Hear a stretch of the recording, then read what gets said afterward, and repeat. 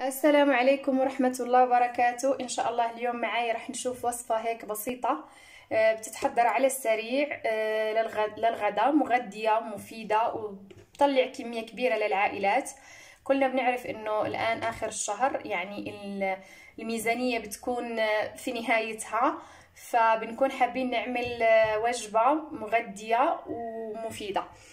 المهم بدي أتكلم هون عن آه، إحنا كنقولوا لهم قشاوش الدجاج. اللي هو الرقبة القوانص طبعا أنا بكون شايل الكبد لأنه الكبد مش محبذ إنها تضل بالثلاجة إذا بدنا نستفيد من فوائدها يفضل نطبخها بنفس الوقت. هون عندي قوانص ورقاب آه، رقبة الدجاج. راح أطبخها بالرز. إن شاء الله مع شوية جزر. اللي بيحب يضيف جزر وفلفل كويس أنا راح أضيف بس الجزر. فإن شاء الله يلا مع بعض نطبخها ونشوف الطريقة البسيطة. هون في طنجرة الضغط بنحط شوية زيت رح نحط عليهم الرقاب الرقاب زي ما بتشوفوا بالشكل هذا أنا رح أضيف عليهم البصل والثوم. زي ما بتشوفوا هون عندي ثوم وبصل وعندي شوي من البقدونس. وهون مثل ما بتشوفوا آه بقلي في القوانص مع الرقابي بس بالثوم والبصل. هلا رح أضيف عليهم البهارات. آه البهارات عندي كركم ملح فلفل أسود زنجبيل وهون عندي بهارات مشكلة. من بهارات الدجاج. يعني أنا ما بدي أعمل رز بطعم الكبسة بس بدي أعمل رز أصفر آه وطعمه طيب. حطينا البهارات على الدجاج وراح نقلب. المرحلة هاي راح اضيف شوية بقدونس وبخليه هيك يتشرب كل الطعمات مع بعضه. طبعا هاي الأكلة ماما الله يعطيها الصحة والعافية. بالطريقة هاي كنا نعملها يا إما مع رز أو نحط عليها شعرية. بس الشعرية طبعا آه بدنا نكون مخففين المية لأنه الشعرية بتسوي بسرعة. وعشان ما تتعجن. تطلع أكلة كتير طيبة للعشاء. إحنا بصراحة كنا نعملها للعشاء بس حتى للغداء مفيدة وكتير طيبة. شايفين معي هون أهم إشي هي التشريبة هي المرق إنه يتشرب. يعني هون أنا ما حطيت مرق كتير حطيت بس شوي عشان البهارات ما تنحرق عندي. بهدي النار وبخليه يستوي. إذا بتنجرة الضغط رح سكر عليهم 15 دقيقة.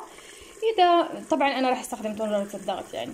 آه، بالطريقة هاي بخليه بالطريقة هاي زي ما قلت بخليه يتشرب ويطلع كل آه، يعني ياخذوا كل النكهة الموجودة آه، بالبهارات وبالبقدونس و هون زي ما بتشوفوا كيف تشرب البهارات. يعني لو بنحطها بطريقة هاي ونغمسها راح تكون طيبة. آه، لا تستعجلوا بالمية على الدجاج لا تستعجلوا دائما خلوا الدجاج ياخد ريحة البهارات ياخد طعمها يضلوا هيك يغلي فيها بس آه، فترة يعني فترة عشرين دقيقة خمسة دقيقة قد ما عندكم وقت.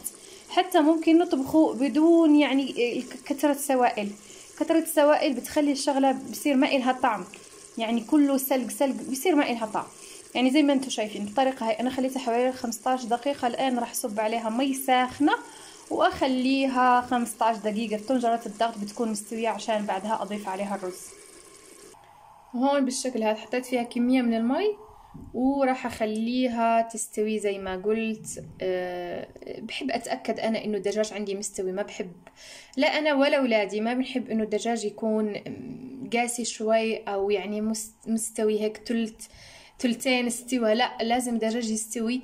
أه كتير منيح. أه لحتى يعني نتأكد كمان يعني إنه هو ما راح يسبب لنا أي إشي. يعني في ناس تلاقيها هيك بتاكل الدجاج شوي قاسي.